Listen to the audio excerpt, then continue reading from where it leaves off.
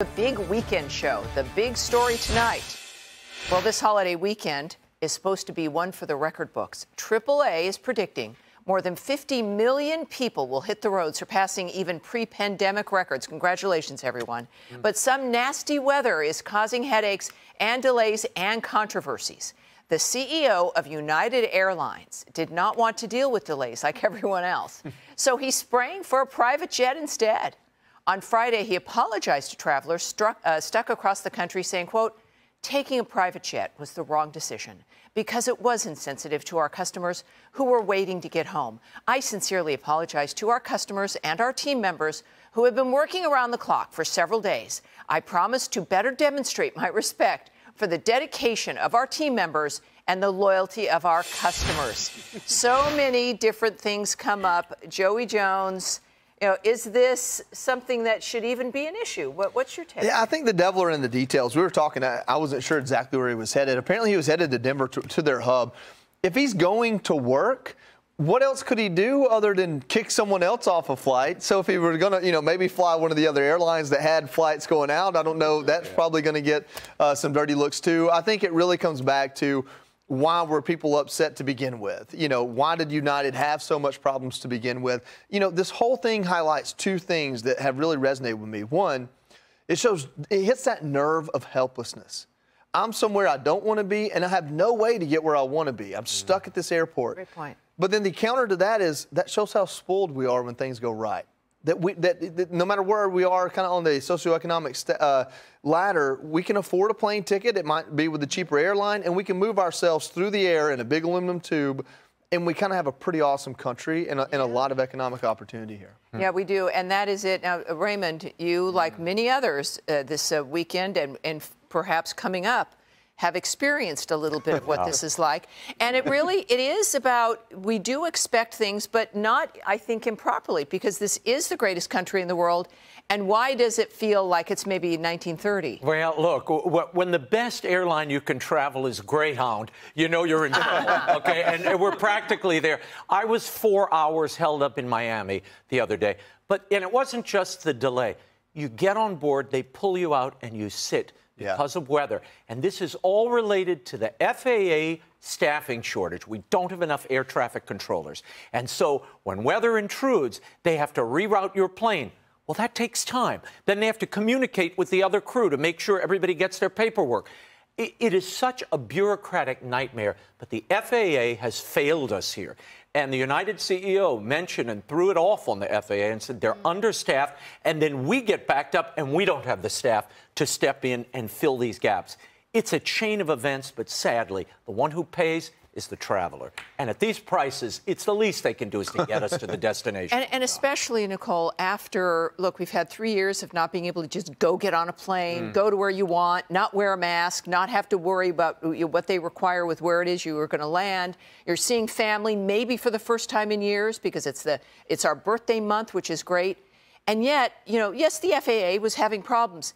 They've seen for years our Mayor Pete, the head of the DOJ, the, uh, the Department of Transportation, isn't this something that they should have at least been prepared for or anticipated prior to the weekend itself? Well, I mean, this weekend is no different from many other holiday weekends that we've dealt with now the last couple of years. And Raymond's touched on it. The United CEO said something as well. There are FAA shortage, staffing shortages, but it's much more than that. It's a culmination of things. Yes, there was weather. There's FAA staffing shortages. You also have outdated FAA equipment. There, there's like 30 years old, and it's not even scheduled to be upgraded for another six years or so. That's what caused that major nationwide ground mm. stop that we saw earlier this year.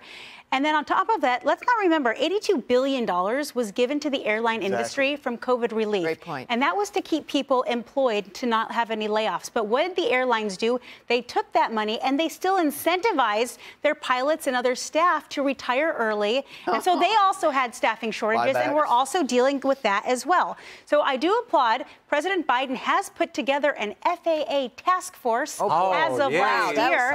And they're supposed to have some solutions by 2024. War. Oy. Meanwhile, I wish we'd see the same urgency like giving $75 billion to Ukraine, $600 billion to student loans, which is not happening, Mm. or 80 billion to the IRS. Unfortunately, they're not using the same urgency for the FAA situation as they are some of the other things, and Americans deserve safe and defendable travel. Yeah, you know, Joey, we've uh, we know of the money, and it, look, so much information and news has passed by us, but a lot of people have forgotten that we bailed out the airlines because you couldn't. That was a sector that couldn't fail, right? We didn't want it to fail, and you would think though, with the, they would have the time to think, well, let's replace some of these parts that need to be replaced. Let's upgrade things.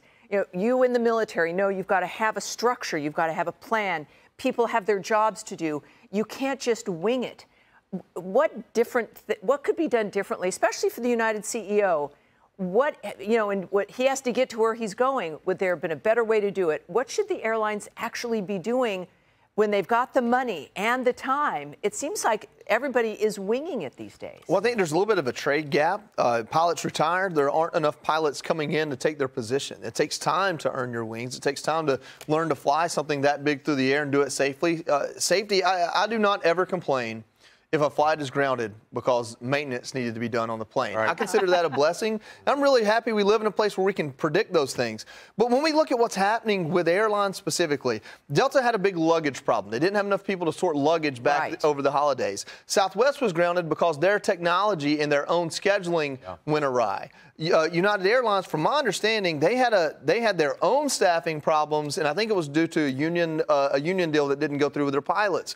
Then on top of that, TSA, uh, probably one of the worst. Uh, managed organizations in the government, and I'm not beating up on TSA, but every single experience at every single airport is different. As a guy who has special treatment, Yeah. I get screened differently everywhere I go. TSA agents don't know their own. I, I used to be a bomb tech. I know all the machines they're using. They don't know those machines as well as I do. They don't know them well enough to use them half the time.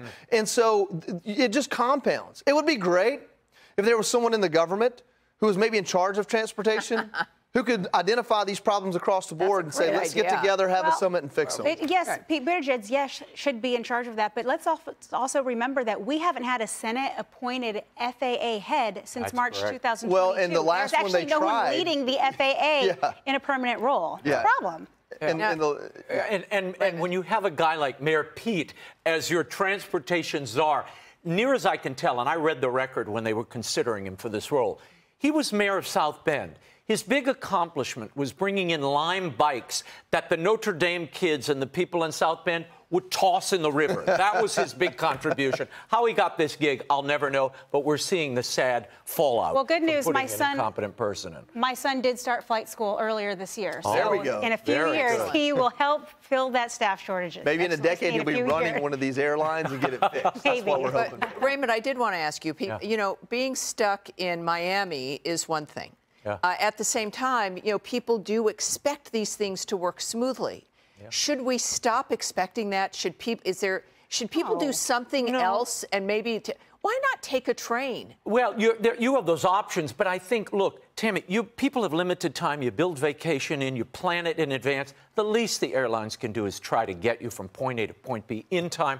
I was stuck in Atlanta overnight when I when I was supposed to do an interview in the morning. I had to take a 5 o'clock a.m. Yeah. flight out to make it, and literally turn around, do the interview, get back on the plane, and leave. Yeah. Because of the nature of the time schedule I was under, the airlines have to be better on this, Well, uh, yeah. or stop charging Yeah, as much. we we are a modern nation in a modern time, and the least we, we are we have lives that are built around that, and we this should not be a new normal. Hey, Sean Hannity here. Hey, click here to subscribe to Fox News YouTube page and catch our hottest interviews and most compelling analysis. You will not get it. Big weekend show. The big story tonight.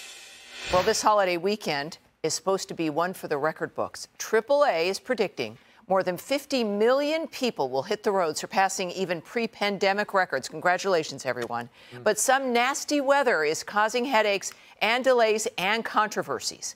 The CEO of United Airlines did not want to deal with delays like everyone else, so he sprang for a private jet instead.